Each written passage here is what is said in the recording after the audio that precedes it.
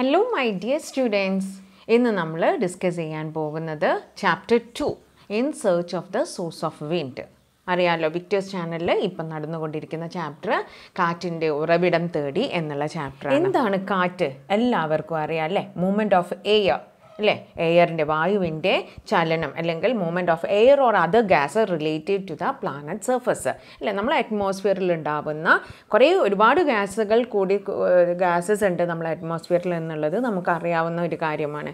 അതൊക്കെ ചെറിയ മൂവ്മെന്റ് ഉണ്ടാവുമ്പോഴാണ് നമുക്ക് കാറ്റ് ഉണ്ടാവുന്നത് എന്നുള്ളത് നമുക്കറിയാം. കാറ്റ് എന്ന് പറയുന്നത് എന്താണ്? നിങ്ങൾ ചെറിയ ക്ലാസ്സിൽ പഠിച്ചിട്ടുള്ളതാണ്.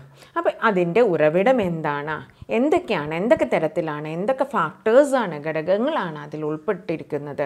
കാറ്റുണ്ടാവാനുള്ള കാരണം എന്തൊക്കെയാണ് എന്നുള്ളതിനെ കുറിച്ചൊക്കെ വിശദമായിട്ട് തന്നെ ഈ ചാപ്റ്ററിൽ ഡിസ്കസ് ചെയ്യുന്നുണ്ട്. എന്റെ പ്രിയ കുട്ടികൾ എല്ലാവരും തന്നെ നല്ല ശ്രദ്ധാപൂർവം ഈ ചാപ്റ്റർ മനസ്സിലാക്കുക പഠിക്കുക. സോ നമുക്ക് ടോപ്പിക്കിലേക്ക് കടക്കാം. എസ് എസ് വേൾഡിന്റെ പുതിയൊരു വീഡിയോയിലേക്ക് എല്ലാവർക്കും സ്വാഗതം. ഹിസ്റ്ററിയിലെ രണ്ട് chapters revolution that influence the world ലോകത്തെ സ്വാധീനിച്ച വിപ്ലവങ്ങൾ എന്നുള്ള ചാപ്റ്ററും അതേപോലെ world in the twentieth century ഹിസ്റ്ററിയിലെ chapter ടൂവും അതേപോലെ തന്നെ വിക്ടേഴ്സ് ചാനലിലെ കുറച്ച് എക്സസൈസും നമ്മളിവിടെ ആക്ടിവിറ്റീസും നമ്മളവിടെ ഇതിൽ ഡിസ്കസ് ചെയ്തിട്ടുണ്ട്. കാണാത്തവരുണ്ടെങ്കിൽ സംശയങ്ങളുണ്ടെങ്കിൽ എല്ലാവരും ഒന്ന് കണ്ടു നോക്കുക അതുപോലെ തന്നെ നിങ്ങൾക്ക് എന്തെങ്കിലും സംശയങ്ങളുണ്ടെങ്കിൽ നിങ്ങൾ കമന്റായിട്ട് രേഖപ്പെടുത്തുക. യൂറോപ്പിൽ നിന്നും ആയിരക്കണക്കിന് കിലോമീറ്റർ താണ്ടി ഇന്ത്യയിലേക്ക് എത്തിയ നാവികനായിരുന്നു വാസ്കോഡഗാമ എന്നുള്ളത് നമുക്കറിയാം. അല്ലേ? അദ്ദേഹത്തിന് തുണയായത് കാറ്റുകളും പിന്നെ അട അടങ്ങാത്ത ആത്മവിശ്വാസവും മാത്രമായിരുന്നു. നമ്മുടെ നാടിന്റെ ചരിത്രഗതിയെ തന്നെ മാറ്റിമറിച്ച ആ സമുദ്ര യാത്രയിൽ കാറ്റുകളുടെ പങ്ക് എടുത്തു പറയാം എങ്ങനെയാണ് കാറ്റുകൾ നമ്മളെ സ്വാധീനിച്ചത്? വിവിധ തരം കാറ്റുകൾ ഏതൊക്കെയാണ്? അവയ്ക്ക് കാരണങ്ങൾ എന്തൊക്കെയാണ്? അവ സൃഷ്ടിക്കുന്ന ഫലങ്ങൾ എന്തൊക്കെയാണ്? വസ്തുതകളിലേക്കൊക്കെ നമുക്കൊന്ന് കടന്നു ചെല്ലാം. The average weight that exerts on the earth surface is one thousand thirty four milligram per centimetre square ചതുര ചതുരശ്ര സെന്റിമീറ്ററിന് ആയിരത്തി മുപ്പത്തിനാല് മില്ലിഗ്രാം എന്ന തോതിലാണ് ഭൗമോ ഭൗമോപരിതലത്തിൽ വായു ചെലുത്തുന്ന ശരി ശരാശരി ഭാരം. നമ്മൾ എങ്ങനെയാണ് ഇത് അളക്കുന്നത്? ഏത് ഉപകരണം വെച്ചിട്ടാണ് അളക്കുന്നത്? മെർക്കുറി ബാരോമീറ്റർ അല്ലെങ്കിൽ രസ ബാരോമീറ്റർ ഉപയോഗിച്ചാണ് നമ്മളിത് അളക്കുന്നത്. ഓക്കെ.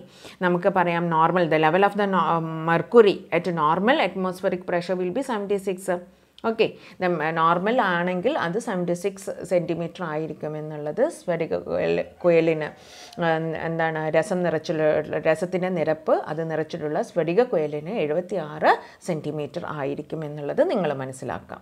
ഓക്കെ അപ്പോൾ ഇത് എന്തുപയോഗിച്ചിട്ടാണ് നമ്മൾ അടക്കുന്നത്? മെർക്കുറി ബാരോമീറ്റർ അല്ല അതായത് രസ ബാരോമീറ്റർ ഉപയോഗിച്ചിട്ടാണ് നമ്മൾ അളക്കുന്നത്. ഇനി നമുക്ക് നോക്കാം. ഉയരവും അന്തരീക്ഷ മർദ്ദവും തമ്മിൽ എന്തെങ്കിലും ബന്ധമുണ്ടോ? ഉയരം കൂടുന്നതോടും അന്തരീക്ഷമർദ്ദം കുറഞ്ഞു വരികയാണ്.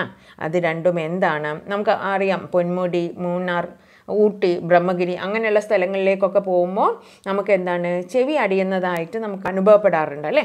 ഉയർന്ന സ്ഥലത്തിലേക്ക് പോകുമ്പോൾ എന്താണ് വായുമർദ്ദത്തിലെ കുറവാണ് ഇതിന് കാരണമായിട്ട് ഉണ്ടാവുന്നത്. അതായത് നമുക്ക് എന്ത് പറയാം? ഉയരവും അന്തരീക്ഷ മർദ്ദവും വിപരീത അനുപാതത്തിലാണ്. So atmospheric pressure and altitude are inversely proportional okay അപ്പോൾ നമ്മൾ ആൾട്ടിറ്റ്യൂഡിനെ പറ്റി ഡിസ്കസ് ചെയ്തു.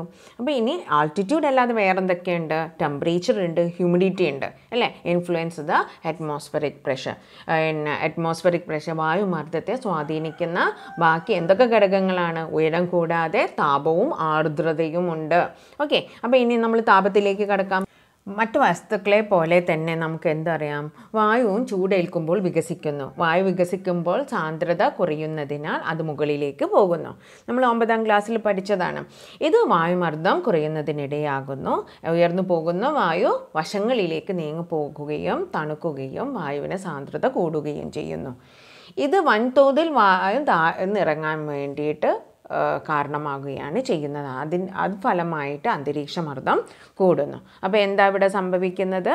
നമുക്ക് expanded the expanded air is less less dense and hence it ascends it go up okay ascends എന്ന് പറഞ്ഞിട്ടുണ്ടെങ്കിൽ it go up this leads to the lowering of atmospheric pressure ഇത് എന്താകും? Atmospheric pressure കുറയാൻ കാരണമാകുന്നു.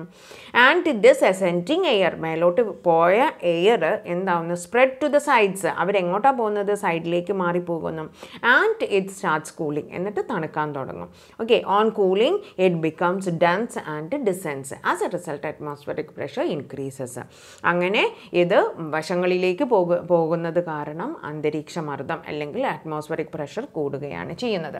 So that is a relation between temperature and atmosphere അപ്പോൾ എന്താണ് ഇവിടെ നമുക്ക് ഇവിടെ നമുക്ക് നോക്കാം. Atmospheric pressure decreases as the temperature increases അല്ലെങ്കിൽ അറ്റ്മോസ്ഫറിക് പ്രഷർ ഇൻക്രീസ് ചെയ്യുന്നതിനനുസരിച്ച് ടെമ്പറേച്ചർ ഡിക്രീസ് ആവുകയും ചെയ്യുന്നുണ്ട് എന്നുള്ളതാണ് നമ്മൾ മനസ്സിലാക്കേണ്ടത്. ടെമ്പറേച്ചറും ആൾട്ടിറ്റ്യൂഡും മനസ്സിലായല്ലോ? ഒന്ന് കൂടുമ്പോൾ ഒന്ന് കുറയുകയാണ്. ആൾട്ടിറ്റ്യൂഡ് കൂടുമ്പോൾ അറ്റ്മോസ്ഫിയറിക് പ്രഷർ കുറയുന്നു. ടെമ്പറേച്ചർ കൂടുമ്പോൾ അറ്റ്മോസ്ഫിയറിക് പ്രഷർ കുറയുന്നു. നേരെ തിരിച്ചും അങ്ങനെ തന്നെയാണ് സംഭവിക്കുന്നത്. ഇനി അടുത്ത ടോപ്പിക്കിലേക്ക് കടക്കാം. ഹ്യൂമിഡിറ്റി ആർദ്രത. എന്താണ് ആർദ്രത പറയുന്നത്? നമുക്കറിയാം. Humidity refers to the quantity of water present in the atmosphere okay വായുവിലുണ്ടാകുന്ന water vapour കണ്ടന്റിനെയാണ് ജലാംശത്തിന്റെ അളവിനെയാണ് ആർദ്രത എന്ന് പറയുന്നത്. ഇതും അറ്റ്മോസ്ഫിയറിക് പ്രഷറും എങ്ങനെയാണ് ആ, ബന്ധപ്പെട്ടിരിക്കുന്നത് എന്നുള്ളതാണ് ഇനി അടുത്തത് നോക്കുന്നത്. If the quantity of water vapour is more in the unit volume of air then naturally atmospheric pressure will be less അപ്പോൾ എന്താ സംഭവിക്കുന്നത് ഇവിടെ? ഒരു നമുക്ക് ജല നീരാവിക്ക് വായുവിനേക്കാൾ ഭാരം കുറവാണ്. അതുകൊണ്ട് തന്നെ ജലം ബാഷ്പമാകുമ്പോൾ അത് അന്തരീക്ഷ അന്തരീക്ഷത്തിലേക്ക് ഉയരുന്നു.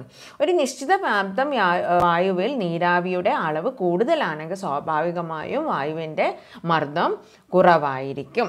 ഓക്കെ. നമുക്ക് നീരാവിയുടെ അളവ് കൂടുതലാണെങ്കിൽ സ്വാഭാവികമായും എന്താണ്? വായുവിന്റെ മർദ്ദം കുറവായിരിക്കും എന്നുള്ളതാണ് പറയുന്നത്. അപ്പോൾ ഇവിടെയും നമുക്ക് എന്താണ് സംഭവിക്കുന്നത് ഇൻവേഴ്സ്ലി പ്രപ്പോർഷണലാണ് ഹ്യൂമിഡിറ്റിയും അറ്റ്മോസ്ഫറിക് പ്രഷറും ഇൻവേഴ്സ്ലി പ്രപ്പോർഷണലാണ് അപ്പോൾ ഈ മൂന്ന് കാര്യങ്ങളും ഇൻവേഴ്സ്ലി പ്രപ്പോർഷണലാണ് ഒന്ന് കൂടുമ്പോൾ മറ്റത് കുറയാണ് ചെയ്യുന്നത്. താപം കൂടുമ്പോൾ അല്ലെങ്കിൽ ടെമ്പറേച്ചർ കൂടുമ്പോൾ അറ്റ്മോസ്ഫിയറിക് പ്രഷർ കുറയുന്നു. ഹ്യൂമിഡിറ്റി കൂടുമ്പോഴും അറ്റ്മോസ്ഫിയറിക് പ്രഷർ കുറയുന്നു. ആൾട്ടിറ്റ്യൂഡ് കൂടുമ്പോഴും ആൾട്ടിറ്റ്യൂഡ് കൂടുമ്പോഴും അറ്റ്മോസ്ഫിയറിക് പ്രഷർ കുറയുകയാണ് ചെയ്യുന്നത്. അതാണ് ഫസ്റ്റ് ഭാഗത്തിൽ നിങ്ങൾ പഠിക്കേണ്ടത്. എന്താണ്? മൂന്ന് ഫാക്ടേഴ്സ് ഹ്യൂമിഡിറ്റി അതേപോലെ തന്നെ ആൾട്ടിറ്റ്യൂഡ് ആൻഡ് ടെമ്പറേച്ചർ ഓക്കെ ഇത് മൂന്നും എന്താണ്? ഇൻവേഴ്സ്ലി പ്രപ്പോർഷണൽ ആണ് എന്നുള്ളതാണ് ഫസ്റ്റ് ടോപ്പിക്കിൽ നിങ്ങൾ പഠിക്കുന്നത്. ഓക്കെ ടെക്സ്റ്റ് ബുക്ക് ഒരിക്കൽ കൂടി വായിച്ച് നോക്കുക. Okay my dear students thank you for watching the video keep on watching ചെറിയൊരു ടോപ്പിക്ക് മാത്രമേ ഉള്ളൂ മിസ് എടുത്തിട്ടുള്ളത്. അത് നന്നായിട്ട് മനസ്സിലാക്കുക. എന്നിട്ട് അടുത്ത ടോപ്പിക്ക് നമുക്ക് ഗ്ലോബൽ പ്രഷർ ബെൽറ്റാണ് അത് നമുക്ക് നെക്സ്റ്റ് ക്ലാസ്സിൽ ഡിസ്കസ് ചെയ്യാം. ഓക്കെ ആഗോള മർദ്ദമേഖലകൾ എന്നുള്ള ചാപ്റ്റർ എന്നുള്ള ടോപ്പിക്ക് നമുക്ക് അടുത്ത ക്ലാസ്സിൽ ഡിസ്കസ് ചെയ്യാം.